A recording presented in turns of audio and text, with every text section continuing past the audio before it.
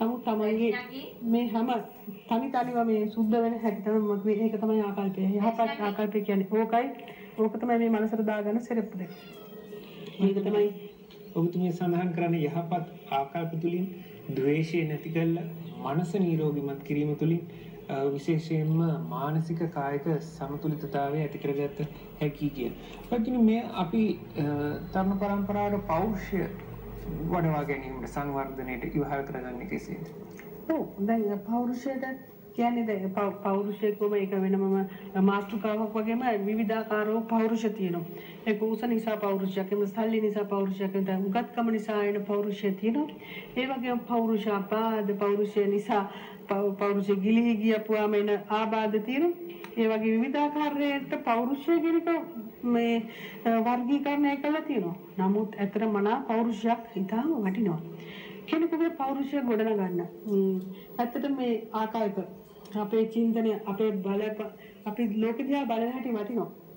ඒ වගේ පෞරුෂා බාධා ඉන්න පුළුවන්. පෞරුෂා බාධා ගැන කතා කරොත් මේ පොඩි කාලෙවල ඔය අපි කලින් වැඩසටහන් වල කතා කරා දෙමෝපියන්ගේ වැඩිහිටියන්ගේ වැරදි නිසා ල- දරුවන්ට නොයෙකුත් ආබාධ එන්න පුළුවන්. ඒක නිසා අ, සමාජයට ද්‍රෝහී වෙච්ච පෞරුෂ තියෙන දරුවන් එන්න පුළුවන්. එතන මානසික රෝග විදියට එන දරුවන් ඉන්නවා. දරුවන් නේ ඒක ලොකු වැඩිහිටියන්. මේ වගේ පෞරුෂ වෙනස් ආකාරයට එන්න පුළුවන්. නමුත් හදිසියකට දැන් අපි හිතමුකෝ මොන විදියකට හරි මේ පෞරුෂ ආබාධත් එක්ක කෙනෙක් ආවා. මේ ආ- ආබාධ ආපු කෙනා තේරුම් ගන්න ඕන මාගේ ජීවිතේ දැන් මම ඉදිරියටත් ගත කරන්න ඕන විවාහ වෙන්න ඕන දරුවන් හදන්න ඕන මම මොකද කරන්නේ? නිසි ප්‍රතිකාර තියෙනවා. ඒවට යොමු වෙන්න පුළුවන්. ඒ වගේ Tamanට ඒක සුද්ධ කරගන්න පුළුවන්. සමහර අය බොහොම ලැජ්ජයි යන්නේ නැහැ. අ, මට මොකුත් ලෙඩක් නැහැ කියලා නිකන් ඉන්නවා. ඒ වගේ ආඩම්බර වෙලා හැම ඉදීමට වඩා ඇත්තටම මිනිස්සු හොයන්න ඕන උපදේශන සේවා ඒ වගේ නිසි ප්‍රතිකාර වලට යෑම ගොඩක් හොඳයි. ඇත්තටම අපේ රටේ හරි අඩුයි ඒවට යොමු වෙනවා. හරි බයයි එහෙම තැනකට එන්න. පිටරටවල නම් බොහොම නිතරම උපදේශන සේවා කියන එක නිකන් බොහොම නිකන් ෆේෂල් එකක් කරන්න කිසි බයක් නැතුව යන ළමයි යනවා. මේ beauty ඒ කියන්නේ මේ රූපලක්ෂණ සඳහා යනවා. ඒ වගේම අපේ මනසට කරන ෆේෂල් එක තමයි මේ මනස සුද්ධ කර ගැනීම. ඒ සඳහා තියා යුතුයි. පොඩි අපිට ගයිඩන්ස් ඒ කියන්නේ අපිට උදව් කර ගැනීමට මනසෙන් අපි මොන වගේ පියවරකටද යන්නේ සමහර රට කැරියර් ගයිඩන්ස් කියලා තියෙනවා. ඒ කියන්නේ අපි මොන විදියට රැකියාවකට යන්න ඕනද? මොන වගේ ම්, විදියකට ද මම විවාහය සඳහා ලැබෙන්න ඕන මේ වගේ දේවල් සඳහා උදව්වක් සඳහා යෑම හොඳයි. ඇත්තටම කියනවා නම් දැන් විවාහවලදී අපි ලොකුවට අපේ කේක් ගෙඩිය, අපේ මල් බොකේ එක, අපේ අඳින ඇඳුම මේවට මුල් තැන දෙනවා. ලොකු වෙඩින්ග්ස් ගන්නවා.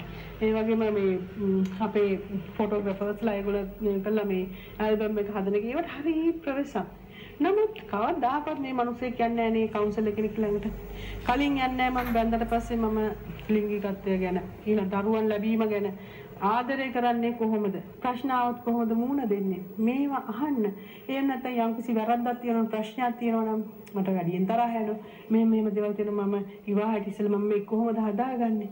මේ දේවල් ගැන එන්නේ නැහැ. ඇයි එහෙම බොහොම අතලොස්සක් එක්කෙනෙක් දෙන්න කැවිලා තියෙනවා. ඒ ගැන සන්තෝෂ වෙනවා. නමුත් ඊට පස්සේ වෙන්නේ මොකද්ද? විවාහ වුණා.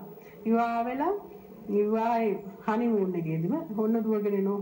මේමයි මේමයි මේ විදිහේ ප්‍රශ්නයක් තියෙනවා. ඕන් ඉතින් අර ලොකු උත්සවයක් කරගෙන ඊට පස්සේ විවාහය ගෙනියන්න බෑ.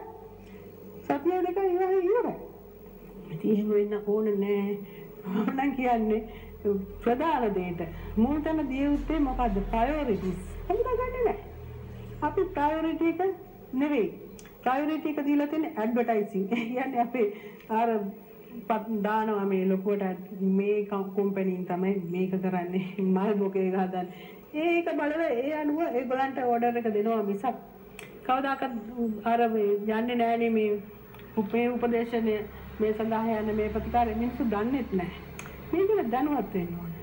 ඇත්තටම ඉතින් අපි මේ වගේ වැඩසටහන් ගැන සන්තෝෂයි. මොකද අපි මේ වගේ දේවල් කිව්වම ගොඩක් අය අහගෙන ඉන්නවා.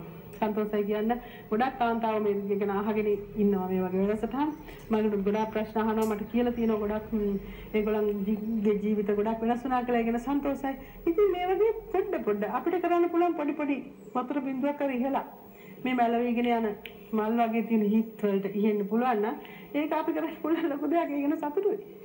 මම හිතන්නේ ඔතුමිය සඳහන් කරන්නේ ආකල්ප සංවර්ධනය තුළින් තමන්ගේ අ, ජීවිතේ එහෙමත් නැත්නම් මනස නිරෝගී කරගත් ගැනීමෙන් ඊටාම ඵල ප්‍රයෝජනයක් ලබාගත හැකි බවයි. පැඳි සිටින මද විරාමකින් අන්තරව නැවත අපි ඔබ හමු වෙනවා.